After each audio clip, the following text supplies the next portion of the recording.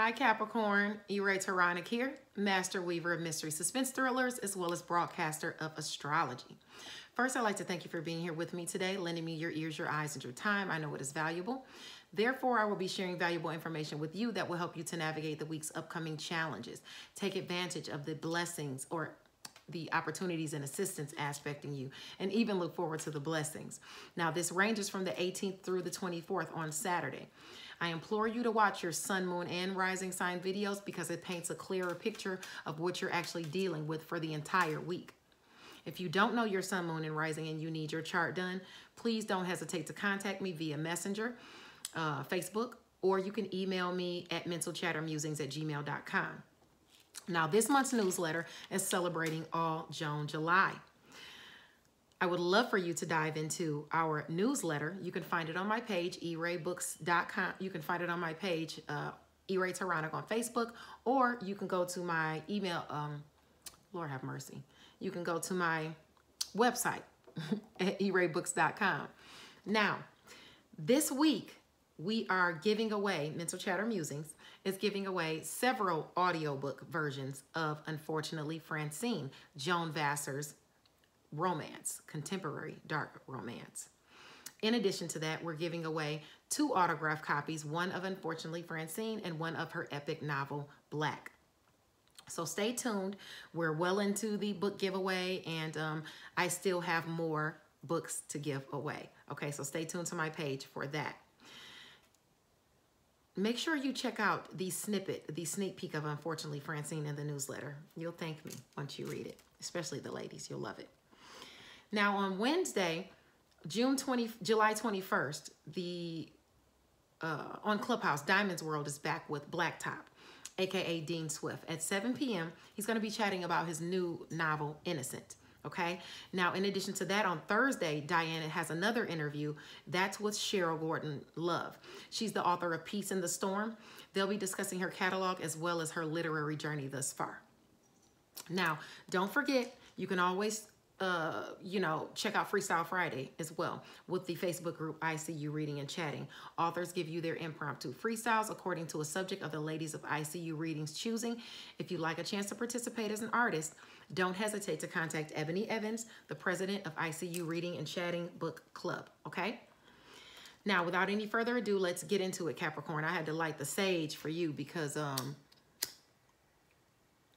yeah, I had to get the sage going for you because you had um, on the bottom of your deck, you got test of faith. You're going through something right now.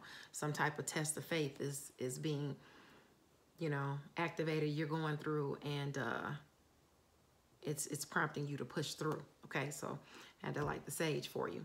Now, Venus moves into the sign of Virgo, trining Pluto, and the Sun moves into Leo, trining Chiron in Aries, as well as the South Node in Sagittarius. And of course, we can't forget about the full moon in Aquarius, coupled with Saturn, the planet of restrictions and responsibilities, and trining the North Node in Gemini. So I've already said a mouthful, but let's look at what this actually means for you. If you have any placements within three degrees of the degree that I mentioned, more or less, then you know that these planets will affect you more powerfully, okay? Now today, the sun is in Cancer. This is your area of relationships, okay? This is what is being illuminated right now. This was what has been illuminated. You could find yourself getting some good advice from an elder or even a mentor today. Make an effort to listen. You know, it's somebody that you have a relationship with. They could be giving you some type of keys to success or help you navigate a situation, okay? Now, with the moon in Scorpio, trining the Mercury in Cancer, both at 11 degrees, is asking you not to obsess over where you went wrong or those determined to remind you of that fact. Good communication and advice could come as a blessing to salvage what can be salvaged. Don't allow yourself to get depressed or paranoid. It only makes things worse, okay? Remember that you everybody's going to go through challenges. You got to grow through what you go through, okay? Now, these blessings are aspecting you in your area of uh, relationships, in your area of Scorpio, okay? So, um, that's funny. It could be a Scorpio person helping you to accomplish goals, uh, someone within your networks of people, someone within your social groups and things like that. Okay. Focus on those blessings that you have aspecting and coming through. Okay. Don't focus on the challenges. Now, on Monday, Cancer, let's see, hold on. Your challenges, let me let you just let you know kind of where your challenges are as far as Cancer. It's in career relationships and it's in uh, home and family. So you're having issues right now with career relationships and family, home and family relationships, unfortunately. Okay, according to the uh, astrology. Um, now, home and family has Chiron there in Aries, so you can heal those. But your some of your career relationships, you know, you just got that. You've got you've you're, you're having some issues there, you know, with some people. Now on Monday, the sun in Cancer is at 27 degrees. It's trining the moon in Scorpio at 26 degrees. Just like I was saying before, your relationships with some type of friend or social group or um, your networks of people or something like that, okay? But it's asking you to get out in nature, be more active, move around. You might have a deep affection for somebody, uh, you know, in a relationship or something like that, but in family that could overtake you on that day. Take some time to spend time with home and family on that day, okay? Take some time to nurture your relationships on Monday. Also on Monday, which is not a single transit, Vesta moves over into Libra. It's coming out of Virgo and it's moving into Libra. This is about the light inside of us. This is about our devotion. Okay. Now, with it move with it moving there um, into the sign of Libra, that's your area of career that it's aspecting. So it's moving there, bringing you, making you more devoted to career, making you more devoted to making money in career where you've had restrictions and responsibilities, making you more devoted to work, health, and daily routines and where you are of service to others, forging you towards your north node. Okay, that's what this devotion is doing when it, while it's moving there. It's also bringing you, look at that. It's also bringing you assistance in career behind the scenes with shared finances and things that you're passionate about. Okay, with uh, endings and new beginnings and things like that. It's gonna it's behind the scenes. It's helping you out. Now, now your only friction in career is you and your in some of your career relationships, okay? For some reason they're not vibing with you or you're not vibing with people. It's just you know you know something going on there.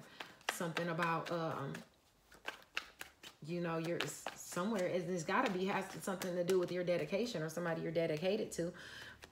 You know you something is going on there all right? You got some good stuff coming out though. You know you got some good stuff coming out um, with these cards that i'm going to get into. Let's talk about tuesday. Now that transit with vesta that's that's a transit that's going to be there for quite some time okay now with Vest, uh, with uh on Tuesday, the sun is in Cancer at 28 degrees. That's the day you want to listen to your instincts and keep your wits about you. Okay? Don't divulge any important plans because there's someone in your midst who's trying to spoil them. Jealousy lurks on Tuesday. Okay, that's for everybody. It's aspecting. On Tuesday, that's not a day to just be telling anybody your business, especially if you have any aspects in Cancer between 25 degrees going into Leo up until Leo at one degree. Okay, you want to be very mindful of your relationships in career and in home and family. Somebody wants to ruin something for you. Okay, and with Mercury in Cancer, sextiling Uranus and Taurus at both at 14 degrees, you could have a surprise that comes your way. Okay, so that surprise is going to be some type of offer or assistance in a career relationship that has to do with creativity, um, your um, or a romantic partner that wants to forge a new relationship with you, and that could be shocking. You find out somebody likes you, you know, out of nowhere because Uranus and Taurus is there.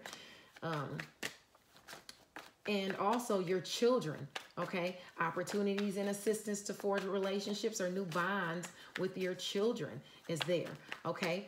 Use what you think and what you preach for that, for that, you know? And talk to them. Talk to them. Give me some clarification as to that seven of uh, wands. Oh, that was fast. All right. All right. Oh, okay. Let's keep shuffling that. I don't like that, uh, that, um, tower, tower card being, a, ooh. All right. I don't like that tower card being on the bottom. on Wednesday, the sun is in Cancer at 29 degrees. Don't let your passions or your feelings get the best of you on that day. Be cool. Even if you want justice or revenge or you feel like you, you know, want to act out against somebody, acting on impulse will only make things worse. Okay? Wednesday is not the day to go jumping and doing something, you know, that you're going to feel sorry for, okay, or that you're going to regret later, okay? That's a day that everybody should be keeping their cool. Do not act on impulse, okay? That's what the transit is telling you. Now, on Wednesday also, Venus is going to move over from your area of uh, shared finances and it's going to move over into your area of what you think and what you preach, education and skills, and where you are of service to others.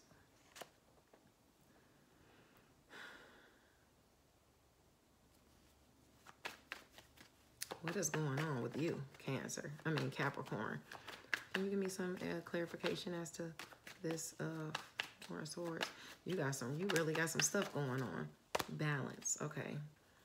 I'm gonna stop right there because that's that's a lot going on. You got a lot going on. All right, before we start shuffling again, before I get into what Venus is bringing you, let's look at these cards. First of all, you've been worried about something. Okay, sleepless nights, worried about something, you need to balance yourself, okay? You need to balance your emotions. You need to balance your temper. You need to balance your, you just need balance. Temper rats, okay? Watch your temper. Take some time to rest if you need to.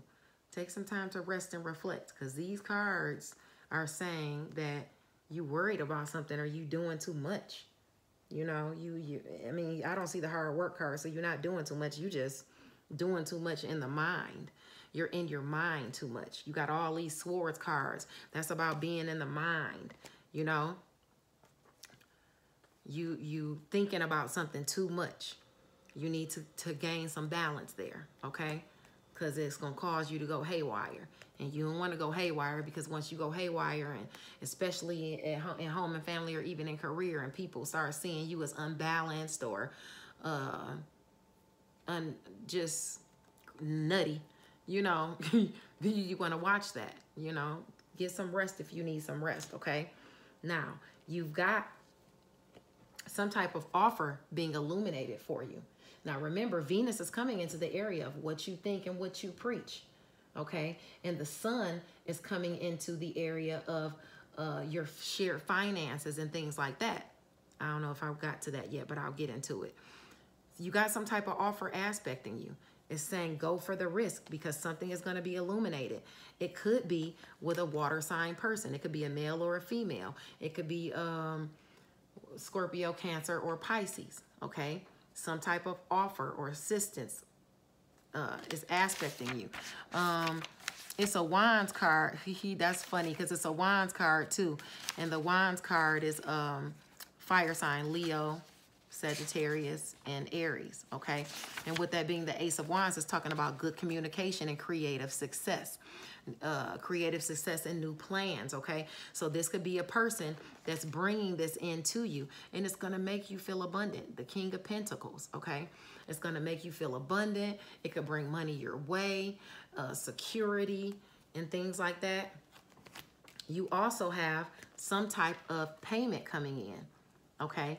Some type of gift, some type of money. That's even more money. That's changing your world, but you got a lot of options at your disposal, and everything's not going to give you what you want. So you want to pay attention, and you want to be mindful of over-admiring your circumstances, okay?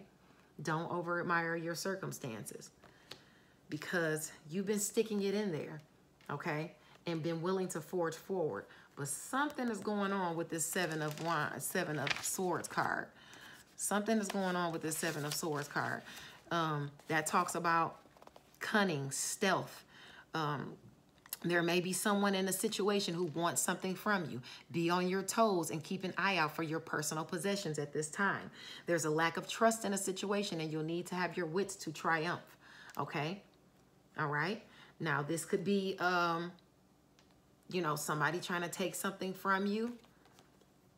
Or this could be you sticking it in there and forging forward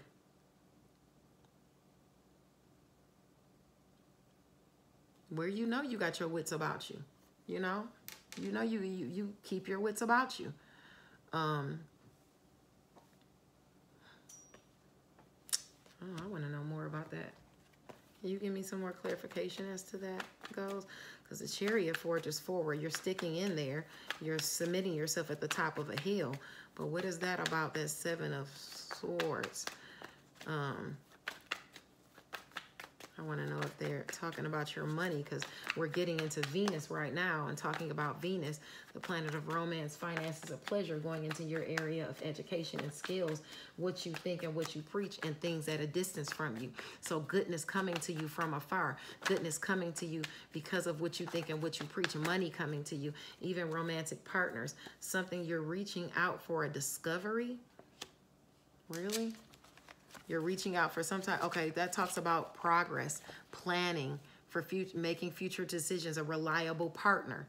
Okay, you might even have a partner coming in, forging towards you, who might want something from you. So be mindful of that.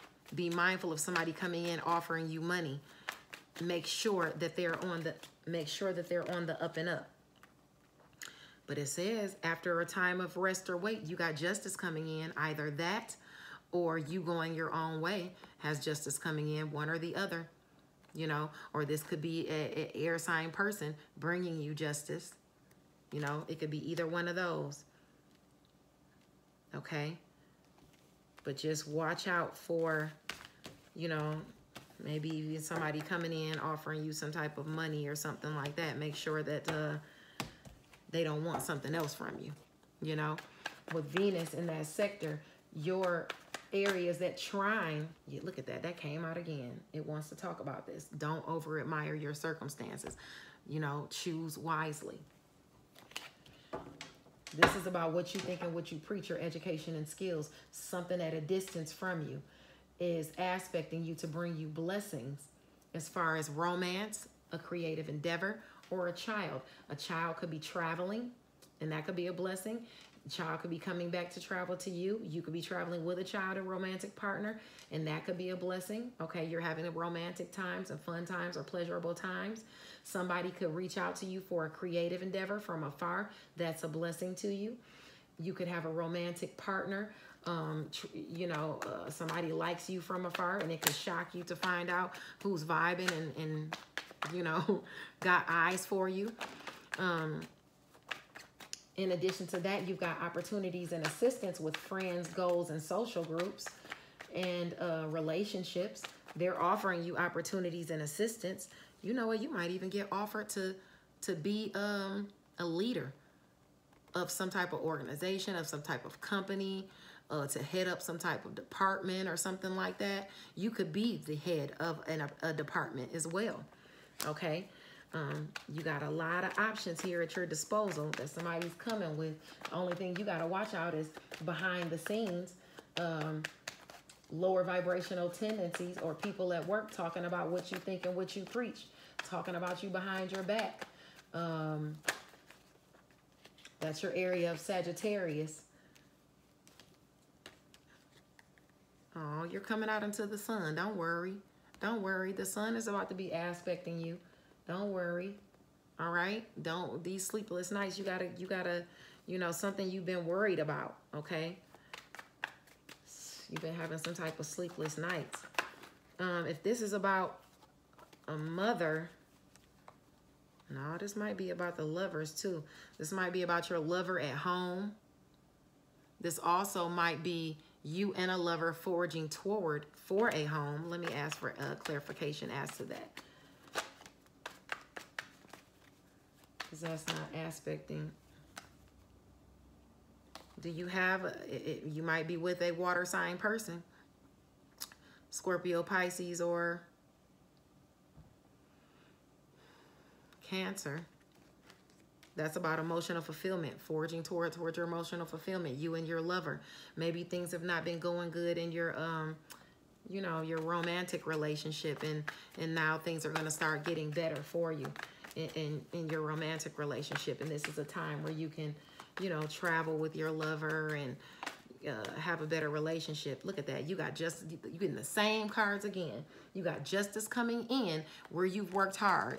You got justice coming in where you've had a test of faith. You got justice coming in where you uh you can expect where you've had resilience and a test of faith, resourcefulness. There's a lot of activity now and you could be busy and under pressure, okay? Keep up with the accelerated work because discipline is going to pay off, okay? Discipline is going to pay off, Cancer, even if you Capricorn, even if you're going through it, it's going to pay off okay? And that's for 30 days that Venus is going to be in that sector of education and skills, what you think and what you preach, bringing you some goodness there. Now, on Friday is the full moon. That's in Aquarius, and that is your area of uh, money. Okay, so, so look at that. As soon as I said that, look at that card that came out. Security, abundance. She's calm. She's exuberant. Okay. That's the Pentacles card. She is warm. It's asking you to be that way. She's secure. She's grounded. She's a businesswoman or a provider of some kind, a woman of the arts. This talks about hard work. This is a positive card that predicts happiness, okay? You've got that happiness coming in and that abundance coming in, all right? Now, the full moon is in Aquarius. That's your sector of money. That's your sector of resources, okay? It's trining career and work, health, and daily routines, okay? So you got, you know, you've got those blessings in that area of Aquarius, all right? Bringing some money in for you, some work, some work in for you. Um, you could be being of service to others. You could get some resources for a pet, a pet's health. You could be buying a pet. Um, this talks about progress and planning, okay? Progress and planning as far as your money and your resources. This person is looking out, okay? looking out to see what he can get, looking out, that's planning for the future, future decisions with a reliable partner, okay? That's aspecting you. Your friction is going to be money resources with friends and goals and money resources with romance, creative endeavors, and children. Shocking things can pop up where you have to pay for something for a child, a romantic partner, or even a creative endeavor. In addition to that, you might be spending too much money on that. So you want to watch out. That's going to come out during the full moon. If you're being unfaithful to someone or cheating, that's going to come out now too. If somebody's doing that to you and they have any aspects around Aquarius in one degree, within three degrees of that, or three degrees of Aquarius, or uh, three degrees of Scorpio, or three degrees of Taurus, and they're cheating on you, it's going to come out. Okay, Listen to your subconscious, your higher powers of the mind. It's going to come out and it's going to show itself, okay? For those that are noble, the transit can show recognition coming to you, okay? If you have any of those aspects within Aquarius or um, Libra or Gemini, okay? That's going to bring you blessings. Your assistance is behind the scenes in home and family, okay? For personal money and resources, okay? For you to gain some type of closure, that you're trying to gain, okay? Some type of emotional fulfillment that you're trying to gain. You've got that aspect in you, okay? But the hermit says to look within, and I think that was actually upside down. So um, the hermit says to look within, but with it being flipped around the way it was, it could point to unpleasant bouts of isolation and loneliness that could be tempered with that should be tempered with positive social time and supportive people. It could indicate a refusal to learn or to listen to advice, which can result in withdrawal from others and anger and resentment. It also can make you prone to overanalysis and have a tendency to over intellectualize things rather than allowing your feelings to surface. Sometimes looking too closely at a thing will prevent you from seeing it at all. Okay? Get out of your head. Remember you had all those swords? Get out of your head, okay? Because you're you're you're doing too much. You're doing too much and it's going to put you in a state of anger and resentment for no reason. Positive social time and supportive people is what you need right now, okay? And with that moon in Aquarius, uh, let's see. We talked about uh, work, health, and daily routine. We talked about you spending money. Your bills might pop up or something like that. You might have to spend some money. You might overspend or find that you have overspent. Your blessings are in career. We talked about that and work. So you'll be making money through career and work and being of service to others, buying a pet, money for a pet. And you have opportunities at home and family to gain closure behind the scenes. Okay. Whether it's with money or whether it's with resources. Okay. You have opportunities to tap into that. Okay. Now remember, Aquarius is directly across from Leo. All right. Venus is moving out of Leo.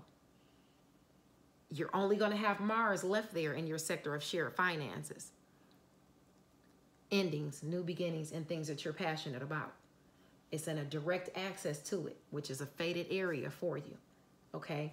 So with Mars there, you got you got Saturn, the planet of restrictions and responsibility, and the full moon there bringing something to a culmination directly across from Mars, the planet of energy and challenges. So when it's directly aspecting around that one degree, it's going to be a little tough. You know, you're going to have some challenges, some money challenges, and you might have some money challenges pop up for you. Okay, so you want to be you want to be mindful of that or or uh, or challenges to your resources in some way.